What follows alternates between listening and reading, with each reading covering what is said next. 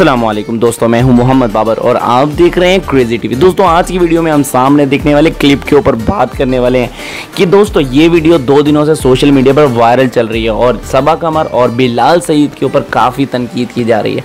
तो दोस्तों, वज़ीर खान मस्जिद में ये वीडियो शूट की गई। तो आज हम इसके ऊपर तफसील से बात करने वाले हैं कि ऐसा क्या हुआ जिसकी वजह से सोशल मीडिया पर इनको तनकीद का निशाना बनाया जा रहा है। इससे पहले मजीद बात कीजिए, मेरे चैनल को सब्सक्राइब कीजिए और बेल आइकन को प्रेस कर लीजिए।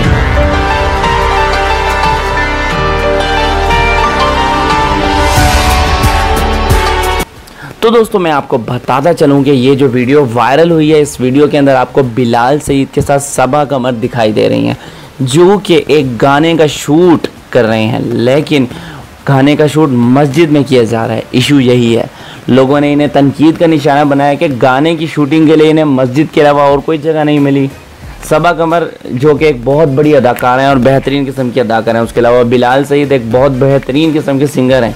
उनको लोग पसंद करते हैं, लेकिन उन्होंने जब ये गाना मस्जिद के अंदर शूट किया और वहाँ पे तस्वीरें वगैरह इंटरनेट पर लगाई तो लोगों ने उन्हें तनकीद का निशाना बनाया कि मस्जिद गानों के शूट के लिए नहीं होती, अल्लाह की इबादत करने के लिए बनाई जाती है।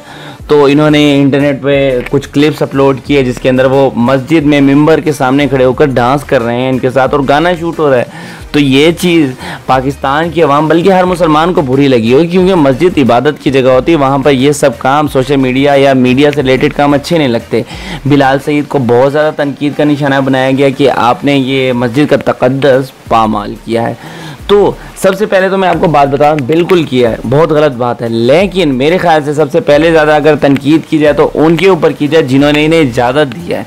क्योंकि मस्जिद के पीछे भी एक इंतज़ामिया होती है, जो कि इतने बड़े लेवल पर कोई आके शूट करना चाह रहा है तो ऑब्वियसली इन्होंने किसी से परमिशन ली होगी।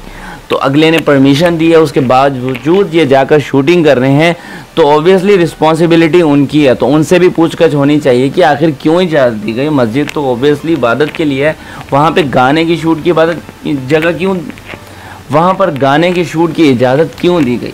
तो दोस्तों, सबसे पहले ये मालूम करना चाहिए कि किसने इजाज़त दी है इन्हें मस्जिद के अंदर आकर लेडीज़ गाने का शूट कर रही हैं, जो कि बहुत ही गलत बात है।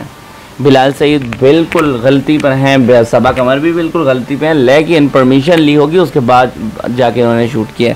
तो सबसे पहले ये पता करना चाहिए, सोशल मीडिया पर जब ये वीडियो वायरल हुई तो लोगों ने बहुत तनकीद का निशाना बनाया और बहुत लानते वगैरह दी दोनों एक्टर्स के ऊपर, जो कि बहुत बेहतरीन किस्म के अदाकार हैं।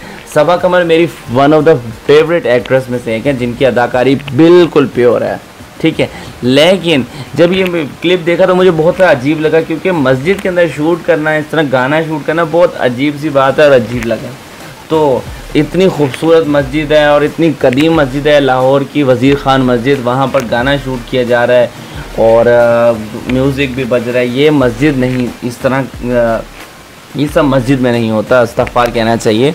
तो इन लोगों को अपनी गलती तस्लीम करनी चाहिए और जो गाने का क्लिप है, इनको हटा देना चाहिए। मतलब ऑफिशियल जब इनका सॉन्ग यूट्यूब वगैरह पे लगेगा तो उससे पहले इनको चाहिए कि भाई कहीं और शूट कर लें, ये नहीं लगाए। ठीक है? मस्जिद है मेंबर है ऑब्वियसली यहाँ पर इबादत की जाती हैं और अच्छी बातें बताई जाती हैं। तो सबा कमर ने भी अपना एक क्लिप इंटरनेट पे लगा दिया, जिसके अंदर वो मेंबर के सामने बैठी हुई हैं और मेकअप वगैरह कर रही हैं।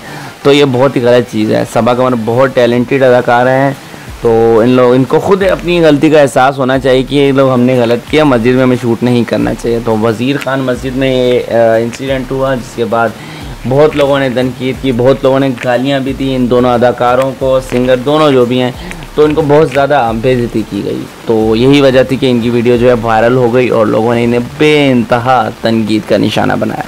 तो दोस्तों, आज के लिए इतना ही काफ़ी है। मुझे मोहम्मद बाबर को इजाज़त दीजिए मज़ीद वीडियोस के लिए। मेरे चैनल को सब्सक्राइब करना मत भूलिएगा। मोहम्मद बाबर को इजाज़त दीजिए। अल्लाह हाफिज़।